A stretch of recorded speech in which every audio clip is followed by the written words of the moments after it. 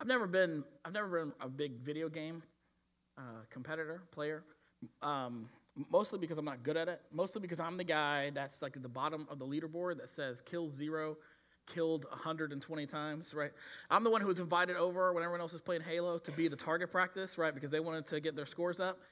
Uh, and that was never fun. Um, it's like, how do you find me? You know, it's like as soon as I reappear, they kill me again. Oh, I can't even. It's just um, bad memories I'm reliving all that. But I, there was one game that I really like to play, uh, and someone gave this game to me as a gift uh, about 10 years ago. Gave it to my to my wife and I. Um, it, it, was it, it allowed you to pretend like you were in a in a rock band. You guys know his rock band? You remember that game, right? I guess it still exists, right? So it came with uh, it came with a, a fake guitar and a fake drum set, which is basically four round buttons, right? And then you just beat it with a stick and a pedal and a microphone, and and it was and you pretended to be in a band. Now, I, I am a I'm a musician, all right, and I sing and, and I play guitar, um, but I don't play drums, and so th- I wanted to be a drummer. So we started this band. So Jamie and I, we started this band, and our kids were really really young. And so we put our kids to bed, and we started this band. All right, I'm, I'm, it's, it's totally legit. I mean, she she she can account for all this. And so we had stage names, all right? Uh, my stage name was Glockenspiel, which is weird because it's like an instrument, but I was from Stockholm. And then her, her stage name was Sadie, and, uh, and which is now her dog's name, which is uh, weird too. So anyway, so we started this, uh, we started this band, and the band's name was, I'm not making this up, it was The Cripples with a Z. Cripples now you you, uh, you guys don't think you can la- you can laugh at that joke, okay? My wife, she's back there, she's in a wheelchair. It was her idea, okay? So you guys can laugh at that. So you're like, I'm not sure if I can laugh at that joke. You totally can. You totally can. It was her idea that we were trying to be fancy, whatever. So that was the band name. Anyway, so we played, and then our kids, you know, got older, and, and it was silly for us to continue. So it ended up being stored at my parents' house for years, years and years and years and years. Well, my youngest son now, who is who is eight, he found it. Okay, and and he wanted to play all right? And he didn't he tried the guitar and tried to drums a hard time. And he loved the microphone right? Now my, my youngest son loves to sing and there's not a lot of outlets for him to sing. And he loves to he, he loves to uh, to be i mean when you watch him sing uh, with a microphone in his hand I mean, he like gets into it. I mean, he's got rock moves. I mean his face he's like ah! I mean he's like he practices the song. He wants to play the song so he can learn them and like practice them in the car. I mean he's and so he plays. My, now listen, my dad is a professional singer. My dad sings for a living. This is a true story. My dad sings for a living. The very first time my son played this game, this is what hooked him on it. My dad sings the song first, all right? And my dad got like 85%. My dad was like, yeah, that's pretty good, that's pretty good. And then my son, my eight year old son, sings it and gets 90%. And my dad's like, I just lost to it. How, I'm a professional singer. How did I lose to an eight year old son? Okay. So he, he's hooked on it. He's hooked on it. So he's, he's talking about it, and we're like, this, this is a great way. We can get him, you know, on a microphone. He can sing and practice singing because there's not like a choir thing he can join. So we bring it to our house last week, right? Um, and all the snow, right? Because we were out of school for a week because of the cold. So we, uh, we had, uh, the, the band was set up we set it up, and so my youngest son's on the microphone, all right, and Glockenspiel Sadie back together, brought the band back together. She's on the bass, that's what she played. She played bass, and I'm, I'm playing the drums. And then my oldest son now, he's into it, so he's, he's on, on the guitar. And my middle son, it was like too much noise. He had like headphones, he was over in the corner. So we're playing this band. And I mean, we are just rocking it out. So this is Thursday, right? So this is Thursday, and you know, we don't know if school's gonna be canceled or not, but we're like, we started and we got the text, and it was like, school's canceled. And I promise you, we played to like till our arms were sore, like midnight. We were like dead tired playing this thing, right? We just, it was like, one more, wait, we can win a bus, we can get a tour bus, let's keep playing. So we just kept playing, singing and rocking it out, and it was so much fun. I love it. I love the game because my wife is rocking the bass. I love my whole family was playing. It was fun. Brought back memories from years and years and years ago. But I especially love it because I've always wanted to be a drummer right? Now i just like I, I, play this box but i have this there's something weird about how my hands and my feet work. So i can tap on a box with my hands but as soon as i try to get my feet involved my feet do what my hands do. So when you watch a drummer the drummer has to be able to like like play this and then hit with the hands independent. It all has to be independent and i my feet and my hands go together so it doesn't work. Like I, anybody who's a drummer knows that's a difficult thing to do and, and so I, my brother's a drummer, and my brother's really good. But I've always liked the idea of playing drums because you just rock out, hit cymbals, and it's fun. But I cannot get my feet to do something different than my hands. So this game's great because I can put it on easy setting, and then it's real simple, just tapping buttons, and it's fun, right? And I can pretend to be a drummer without actually putting in the practice or the time or the discipline necessary to become a real drummer. You guys with me? So I can pretend it's awesome because I've always wanted to be a drummer, and now it's like I'm a drummer in a rock band, except it's totally, it's totally fake. It's totally not real. It's totally pretend. uh, it feels real, right? I mean, I'm playing Rolling Stones and I feel like I'm in the band, but it's totally fake. It's totally pretend. And I tell you that story because I think, if I'm being honest, if we're being honest with ourselves, that's, that's true for a lot of Christians. There are a lot of people who don't have the time or the interest or the patience to put in what's necessary to follow Jesus so that it's real. So they just put on a show and it's totally fake and pretend. And, there's no, and, it, and they want it to be real, but you can't apply what they're doing on, on, on a joystick, a glorified joystick, in the real life. But as long as they feel like it's real, that's how they'll live and say, I'm a Christian, look at me, I play the drums. But it's totally pretend. It's not true. And, and, and even though it, it, it, it resembles what they're supposed to, it resembles Jesus, it doesn't actually reflect who Jesus was and what he does. It, they, they miss some of the deeper intricacies. Like if I if I really wanted to learn drums, I've got to I got to get a practice pad. I've got to get a rudiment book. I've got to sit and, and, and I've got to work on technique and, and, get my, my feet and my hands independent. It's just like with Christians. You got to read your word. You got to pray. You got to get involved. You got to get with other people. You know, there's so much to, to do, not, not out of obligation, but, but a want to, to, to, to abide in Him, right? That's what we talked about a couple weeks ago. That's how we started this conversation. That's, that's what we want to be. That's how we prove that we're His disciples. We bear fruit. How do we bear fruit? We abide.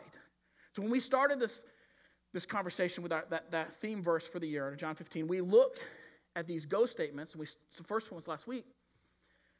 To go and bear fruit, which was last week, it, it begins with us choosing to abide with Jesus, which, which means that we want to stay close to Him, which means that as we're distracted by different things that look appealing and things that make us want to go in the opposite direction, if we're truly a Christian, if we're going to be Christ like, we do what He says, which is take up your cross and I shall follow me. We got to stay close. That's abiding, is staying close. Abiding is, is, is doing what is necessary to, to, to follow Him and learn from Him and live it out, which is ultimately what, what going is. When we say go, the, the assumption built into that command when Jesus says go is that that's life. To live is to go, right? So we are we are going as we are living. And so Jesus is saying, as you live, as you go, bear fruit. And then last week we said, what is bearing fruit? Well, bearing fruit is reflecting Jesus and reproducing disciples. Reflecting Jesus and reproducing disciples. That's bearing fruit. That you that you look like Jesus, right? And because you look like Jesus, you have other people who, who fall in love and they place their faith and trust in Him and they begin to look like Jesus too, and it be, just reproduces over and over again. That's, that's, that's bearing fruit. We bear fruit for others. We reflect Jesus. People see it. It benefits them. They reflect Jesus, so forth and so on. Okay? Well, today, this go statement we're going to look at focuses on the reflecting Jesus part of that. Next week, the go statement focuses on the reproducing disciples. And last week, the go statement focuses on how all that stuff applies to your current circumstance and, and, and situation. But if we're talking about reflecting Jesus today, I just want us to be clear. Reflecting Jesus, what does that mean? Okay, it's like uh, it's like the old analogy. You've probably heard it, right? It's kind of cliche. To, to Christians, they're supposed to be like the moon. You ever heard that? Be like the moon. We see the moon. Why? Because it reflects what? The sun, right? So a Christian is supposed to be the moon. They're supposed to reflect the sun. S O N, right? Ah, Jeff got it. You got it. They reflect the sun. So may, Christians are supposed to be seen by the light of the sun, Jesus. When people look at us, when the world looks at us, they are supposed to see Jesus, right?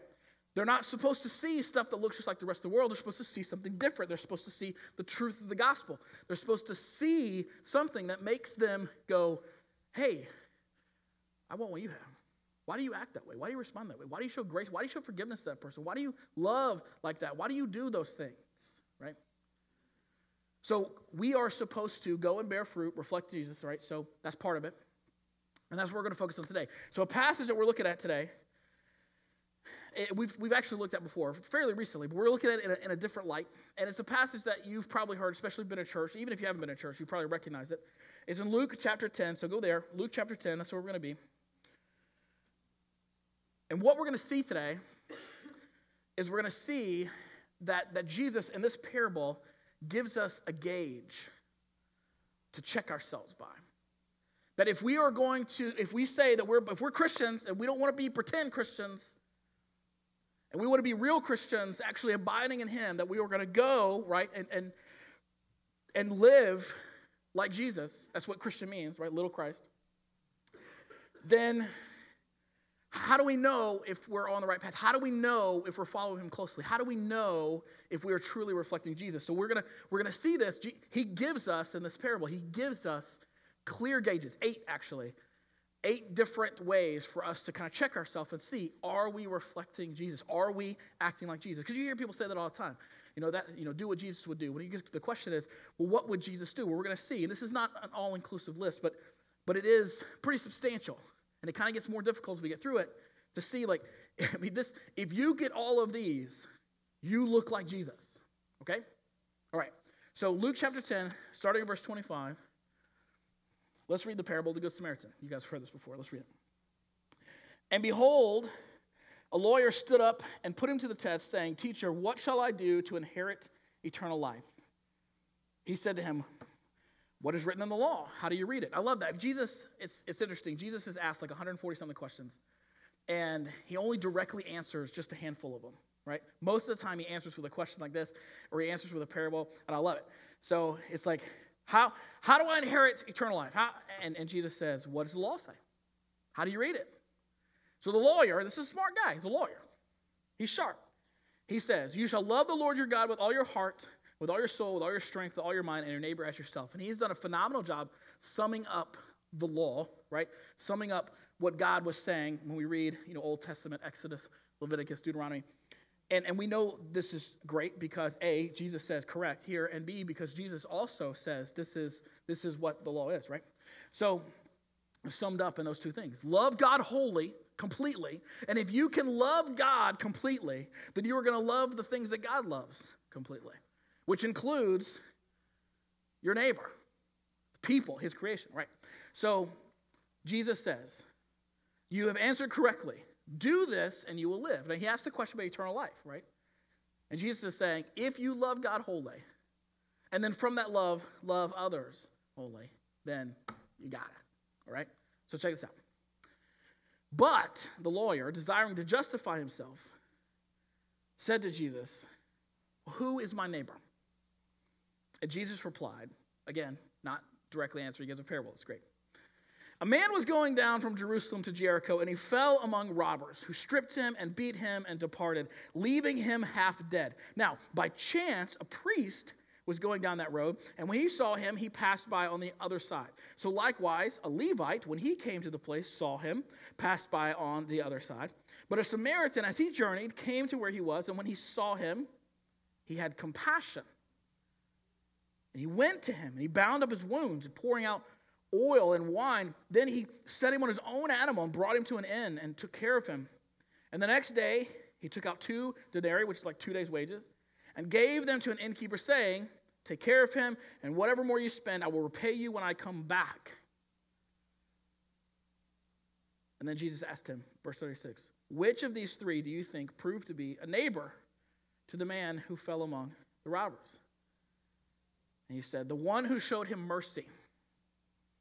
And Jesus said, You go and do likewise. There's the go statement. Go and do likewise. Now, we've looked at this before, and we're going to look at it a little bit differently. We've looked at it in the past, but, but uh, just real quick, right? There's a lot of tension in this parable because you have priests and Levites, which are religious leaders, and they should be the ones who are setting the you know, example, but they're not, which is part of the point that Jesus is making. These people that say they're religious are just pretend. These people are saying that, that you are saved by your works, by, by, by uh, your righteousness is based on your own personal merit, what you accomplished. And that is not true.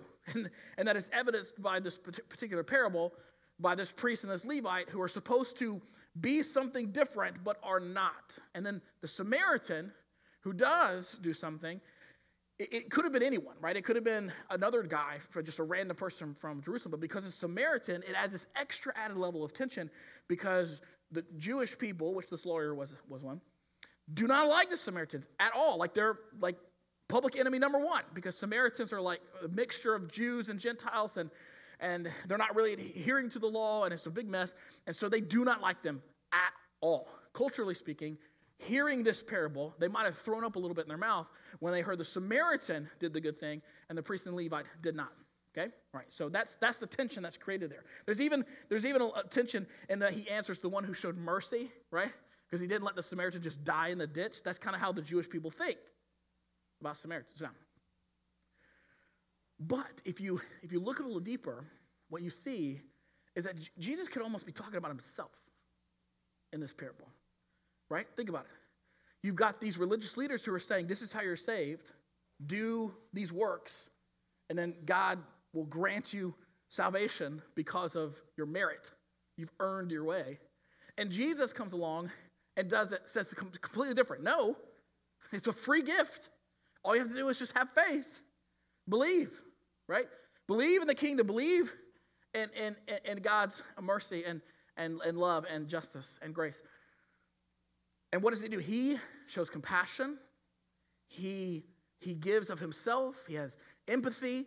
He, he, he uh, sacrifices by giving of himself to the ultimate end of death, right? And then he even says, he even says, look, here, Here's everything you're going to need to take care of him, right? Just like Jesus said, the Holy Spirit's coming. But if there's anything else, when I come back, I'll take care of it. Which, right? You see that? So Jesus could be talking about himself, which is important, right? Now, I don't, I don't necessarily think that he is, but uh, in the sense that he's saying, "This is me," like a foreshadowing. But it's, but it's, it's close enough to pay attention to the details that he gives about this person, because when he says, "Who is the neighbor?" right? It's, it's the Samaritan, right? It's this outsider. It's the one that we shouldn't want to like, but we, we do, right? So we're going to look at the details. I'm going to give you eight different things that we're going to see in this passage. Eight things that will act as a gauge for us to check whether or not we're truly reflecting Jesus the way that Jesus said here, go and do likewise, right? That's the, that's the rub. Go and do like the Samaritan. Go and do likewise. This is the one who acted like a neighbor. This is the one who loved completely, right? Who looked like they were uh, doing what you said was the, the, the, the uh, summary of the, the law, right? So here's the first one. Now, the, the, the, the very first thing, which I think is foundational, you have to go back just a few verses to verse 21, and what you see is Jesus, before the lawyer interrupts him, he is, it says, rejoicing in the Holy Spirit, right? He's praying. So the very first thing that we notice is devotion. Now, this is consistent with, with Jesus all throughout the Gospels. He is, he is constantly in prayer, right? He is constantly talking about the Father. He is constantly quoting Scripture, right? He, he knows uh, the, the Word of God. He, he knows the, the Hebrew Bible. He is, he, is, he is acclimated in God's Word. And he is praying constantly and, and consistently. And so there's a, a spirit of devotion where, where Jesus was before this lawyer comes in and interrupts and tries to test him. It says, trying to test him. And when we read in Psalm 199, it says, How can a young man keep his way pure? By guarding it according to your word. So, just foundationally, if you want to know if you're reflecting Jesus, the very first thing you should ask yourself is, Where's your devotion? How much time do you spend reading God's word? How much time do you spend in prayer? And I know, man, it's like a broken record because I say it like every week, and I'm like, it's like beating a dead horse. Okay, it's foundational. It's foundational. And and and that may be that may be the stop, right? For, for a lot of people here, if you're checking whether or not it's real or pretend, it, it may it may be right there. Point number one, devotion, because you don't pray and you don't read the Bible and you're not going to invest the time you don't have the interest or the patience to fit that into your busy schedule. And so, if you're asking yourself, are you truly abiding and reflecting Jesus? Point number one, you might be sitting here going, I'm already out. So, th- this gauge, right, it's just, it's just going to get tougher. already tough.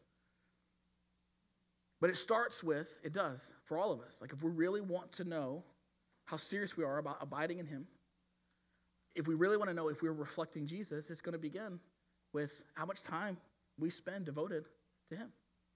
Devotion. verse. All right, so the second one, here's what we know it's right at the beginning. Uh, the second one is understanding. And we see the lawyer is, is very, very smart. He understands scripture. And, and Jesus does too, because Jesus says, You are correct. And we know that Jesus has, has said that same thing in other places. But here's what we also know we also know that Jesus understood scripture, he understood truth, he understood the, the, the message of the kingdom of God, he, he understood the gospel at an early age. Right? We, we read about it where he, he uh, at 12, at the age of 12, he's in the temple and he's, he's teaching the rabbis. Right? And, and I think about that story, and then I read Hebrews 5, uh, chapter 5, verse 12, where it says he, the, the, the, author is getting on to these uh, Jewish believers, these readers. Like, it's like, by this time, you should be teachers, but you're not. You're having to still be taught. You, you should be beyond just receiving milk and be, and be chewing on meat, but you can't handle it because you're still babies and you need milk and you're not mature enough to have meat. And it should ignite us to, to read that. I'm thinking like, man, how, you know, how much time have I had? Because I mean, I've, I've I don't have one of those crazy testimonies where like I was in the mafia and like I like killed somebody once. Like I, I like I've been in church my whole life. Like that's just my that's me. I've been in church like I was I was in the choir nine months before I was born. That's my testimony. Like I've always been in in, in church. Okay, so I think about how long I've had from the time I was 12, which I was a believer. I've been baptized and I was a Christian. I professed it. I knew it. I understood it. To now, like, how much time have I, like, that convicts me greatly to think about how much time I've had and wonder how much that time I, I, have I've wasted. I could have done better, right? Could I have done better? Yes. So there is, there is more to understand. And, and, and, may, and, maybe that for you, maybe you are, you're, you're taking, taking baby steps to, to read a little bit of the Bible, you're taking baby steps to pray, and that's awesome, right? Because we're not going to fix all this stuff in a day. But maybe you're, you're at the step where, like, you know what, now it's time for me to go a little deeper. Now it's time for me to, to dig, but I don't know how to dig, so I need to get around some other people. So maybe I need to join a group next week when do Group Connect. And I need to find some people I can be around so I can ask tough questions, or, or they can help, you know, point me to, to some, uh, some, some solid answers, you know. That, like, what's that next thing? Like, gauge yourself. Like, what are you doing to, to, to better understand the truth? To deepen your faith? To, to know question, you know, answers to questions like that. So that's the second one. Second gate, understanding.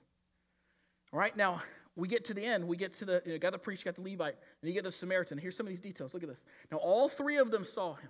The priest saw him, moved to the other side of the road. Levites saw him, moved to the other side of the road. Samaritans saw him, and it says what? He had what? Compassion. He had compassion.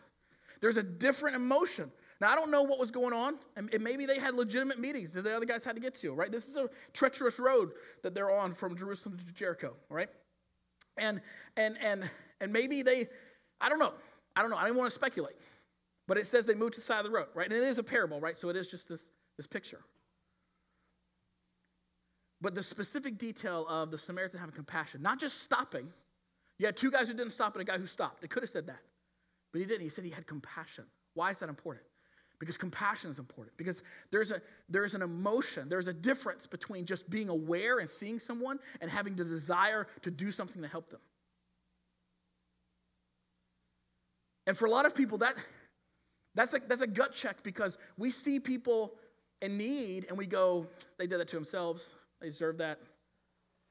You know that's they should be coming to our country whatever, right? We can just fill in the gap. And I'm not trying to get political, I'm not trying, but I'm saying that there are plenty of examples, plenty of examples, so we can look at it, where we look at someone else who's different than us, who lives in a different community, has a different kind of lifestyle,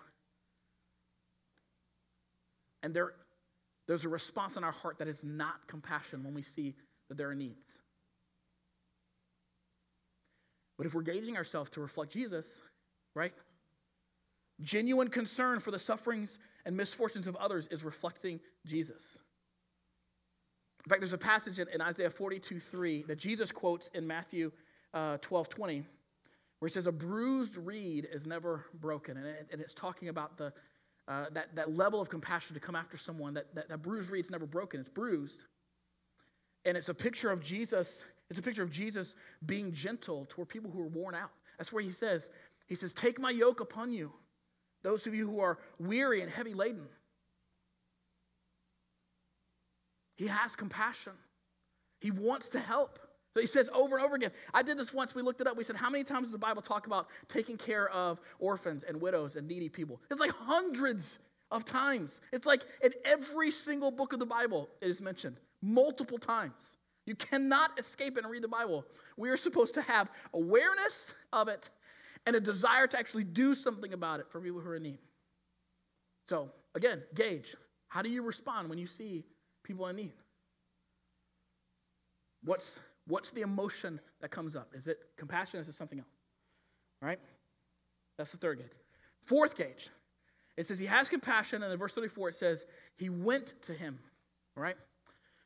Now, you, you could call this action, but that's actually step five. So, what, I, what I'm labeling this, um, I'm, I'm saying this is empathy. Because he, he just went to him, he hasn't done anything yet. He went to him.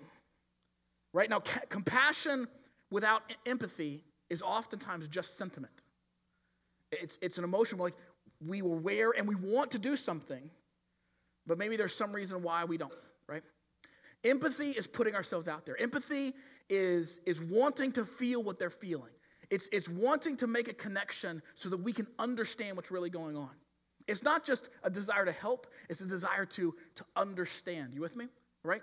It's, it's taking ourselves out of our circumstance and putting, us, putting ourselves into their circumstance. That, that's what empathy. Empathy is, is um, the best feeling is feeling felt, right? That's what empathy is, is. It's feeling what they're feeling.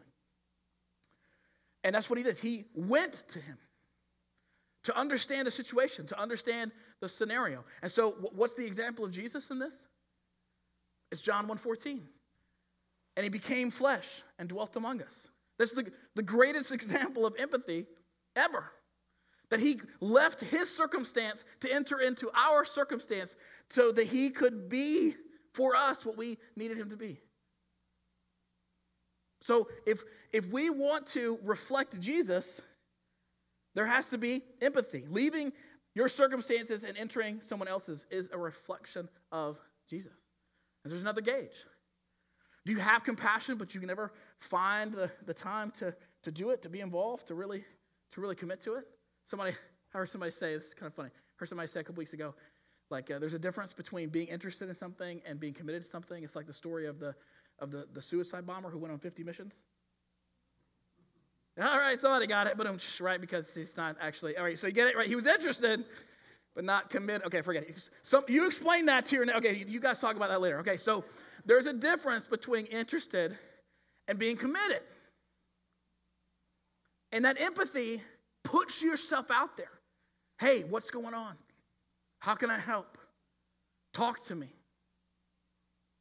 There, there is an action to do that, right? To go to him but, but action is its own, its own gauge, right? Em- empathy, are you willing to step out? That's the question. That's the gauge. Are you willing to put yourself out there? But the fifth one is action. Are you going to do what needs to be done? Because doing what needs to be done is a reflection of Jesus. But life gets messy, especially when you're dealing with broken people, messed up people, hurting people, right? But this is about action. Look what it says. He bound up his wounds. He went to him right? He saw what needed to be done and he bound up his wounds. He didn't go to him and say, Oh my gosh, you're hurting. I am not a nurse. I don't know what to do, right? Which, you know, I'm not a nurse, right? I would, I don't, you know, ah, I mean, what do, how do I do? He, he, he did something, right? And that action is important, doing what needs to be done. And here's the example of Jesus, because you read it. I mean, there's, I mean, there's, there's so many examples of Jesus doing what needs to be done, uh, and we just keep repeating the cross example. But in Matthew 9:35, it says that Jesus went about all the cities and villages, teaching and preaching and healing. He was always ready to do what needed to be done. He was all he was a man of action, for sure. And so we're going to gauge ourselves are we reflecting Jesus? You got to ask yourselves, like, are, are you doing what needs to be done? Are you, go, are you going, right? Are you, are you being? Are you speaking? Are you preaching? Are you teaching? Are you pouring into the people in your, your life? I mean, what, what are you doing what needs to be done? It's a gauge. It's a question. So that's number five. Number six, sacrifice. Look what it says he does. He bounds up his wounds. Like he's pouring on oil and wine, expensive, right? He set him on his own animal, which means that he's no longer riding the animal. And this is treacherous terrain. So he is, he's now uh, carrying this guy on his animal. Uh, brought him to an inn. He took care of him, right? And then it says, look, the next day, so he stayed with him for the whole evening.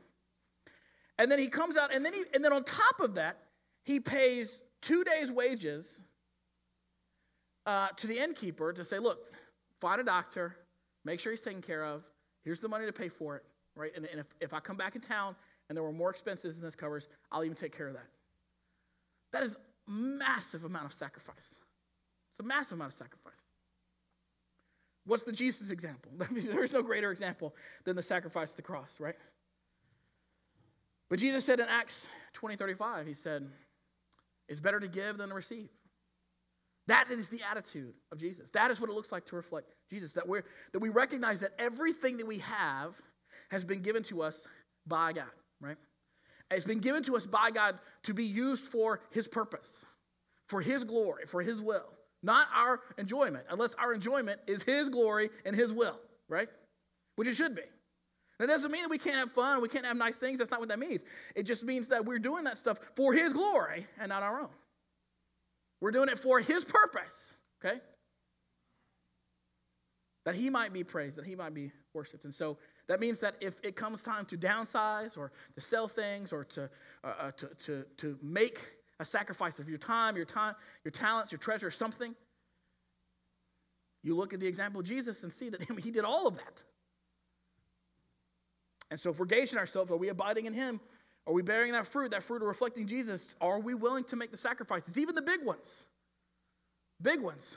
I was talking to someone the other day. They, they've given up all kinds of stuff. Man, they've been, they've been downsizing and, and, and, and, and getting rid of stuff, but there are a couple things they're, they're holding on to, like big things. Like, I'm not touching that, I'm not touching that, I'm not touching that. It's like, is there a red line? Like, like, do you have, like, God, I'll go this far, but don't ask me to do this?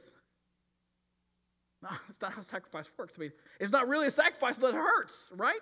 Isn't that what sacrifice means? It should hurt. It should cost us something. So that's the, the sixth one. The seventh one. Now, the, in, the, uh, the Samaritan does not stay. And this was, the, this was the theme of the last time we looked at this passage.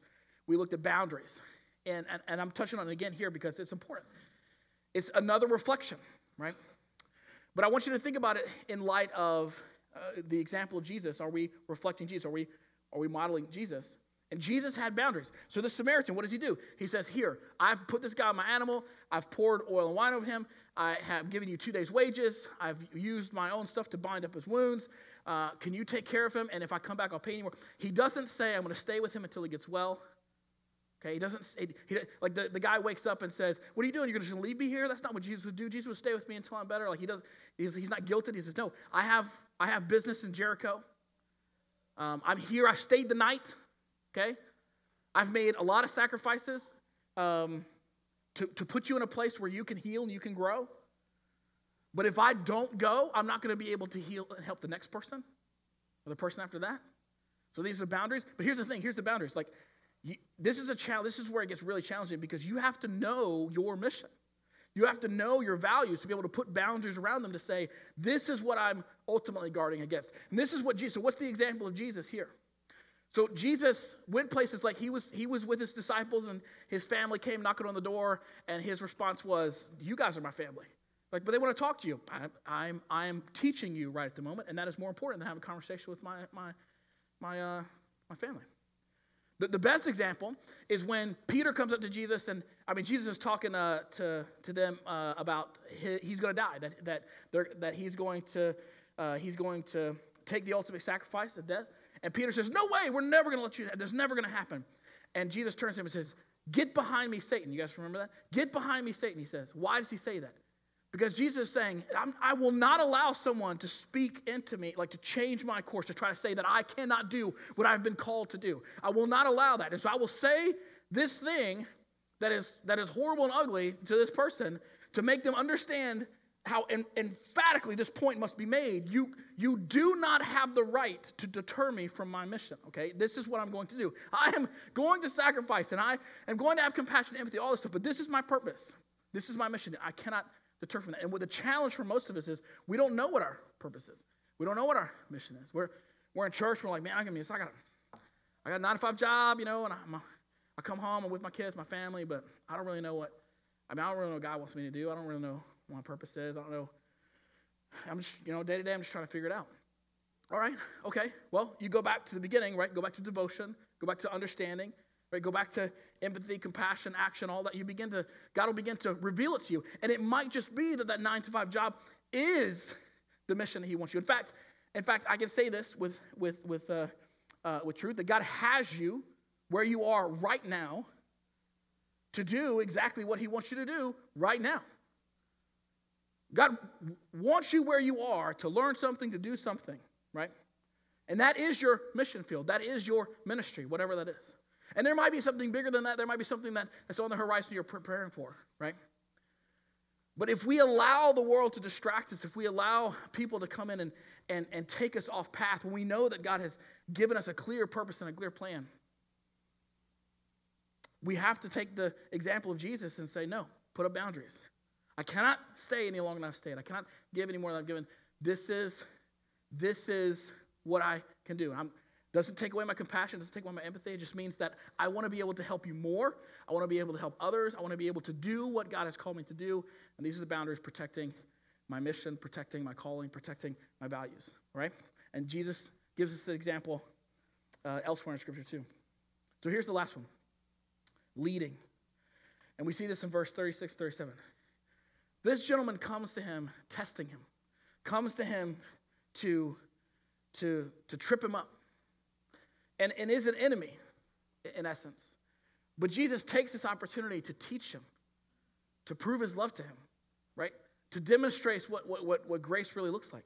And so he says, All right, so what is the neighbor?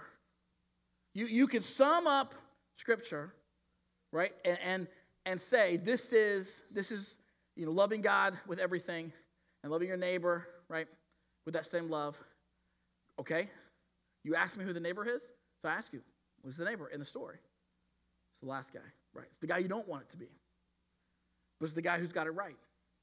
The one who had compassion, empathy, action, sacrifice, right? And he says, Go and do likewise. He teaches him, pours into him.